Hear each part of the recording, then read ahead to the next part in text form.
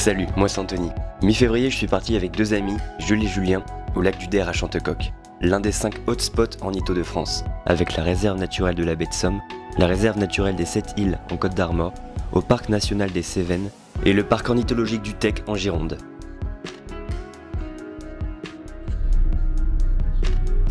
Nous sommes partis en autonomie sans trop d'attente, sans se fixer de parcours, sans programme, euh, juste au feeling, en se satisfaisant des espèces ou des paysages que nous verrons. Le premier jour a été assez compliqué, on ne savait pas trop trop comment procéder pour découvrir le plus de choses, alors on a opté pour euh, garer la voiture et puis euh, partir un peu à l'aventure sans trop se poser de questions. On faisait pas mal de bruit et on avait du mal à se repérer, et surtout en février, il faut faire très attention à l'heure. Le soleil se couche très vite et quand le temps est nuageux, il faut déjà parfois à 17h monter la tente. Car monter une tente dans le noir n'est pas chose facile. On a été tout le long du séjour euh, dans la tente de 18h à 6-7h le lendemain matin. Alors on prenait vraiment le temps de bien manger, de faire de bons apéros entre nous. Et c'est vraiment des super moments qu'on n'est pas prêt d'oublier. Quand les nuits nous le permettaient, on sortait pour découvrir le lac de nuit sans pollution lumineuse, juste nous, l'eau et les étoiles.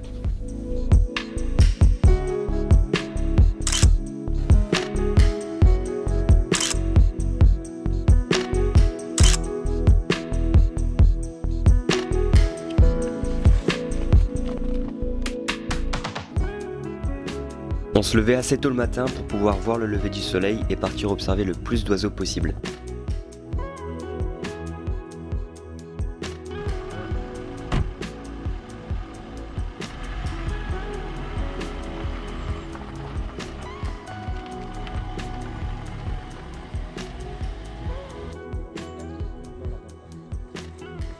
Et ce qui est super avec le lac du Der, c'est qu'il y a beaucoup, beaucoup d'observatoires. On a dû en faire 4-5 différents, dont un où on a pu observer un martin pêcheur. Et un autre où on a eu beaucoup de chance en observant des milliers de grues cendrées. Au lac du Der, les populations peuvent atteindre comme en 2019 les 200 000 individus durant les périodes migratoires.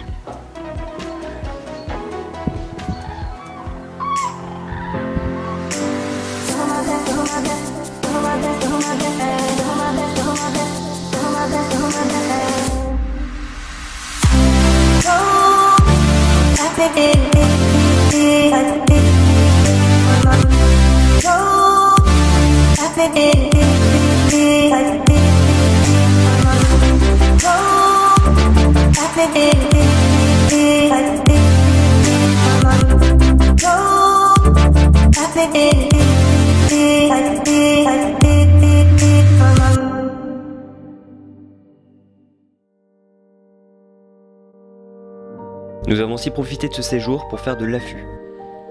L'affût, qu'est-ce que c'est? C'est le fait de se dissimuler le plus possible dans un habitat, de faire le moins de bruit possible, en soi, de causer le minimum de dérangement.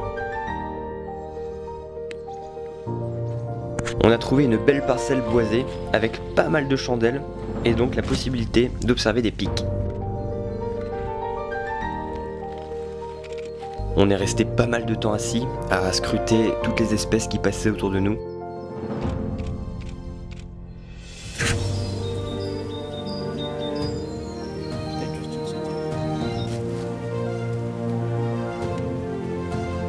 On a pas mal observé le, piquet pêche, on a entendu des pics verts, mais ce qui a surtout retenu notre attention, c'est d'entendre, de voir et de photographier le pigmar.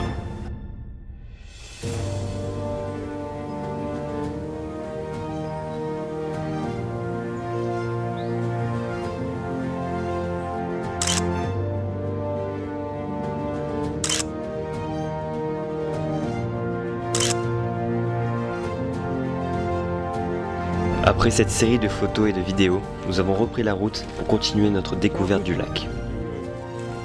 Quand sur la route, l'œil de Jules est attiré par une masse dans un arbre.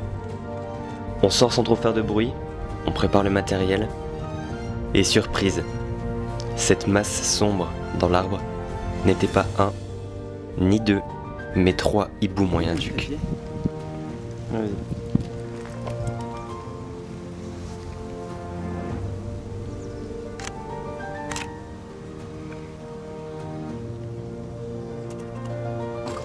Ouais, je l'ai vu qu'après. Là, t'es au max là du zoom? Ouais, je...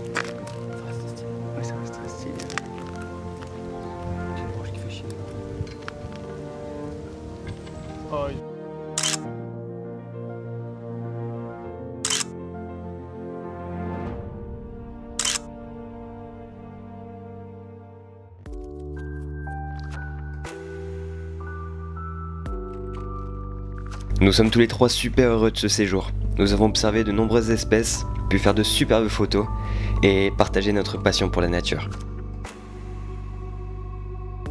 Je vous laisse terminer cette vidéo sur quelques plans au drone du magnifique coucher de soleil qu'on a eu le dernier soir.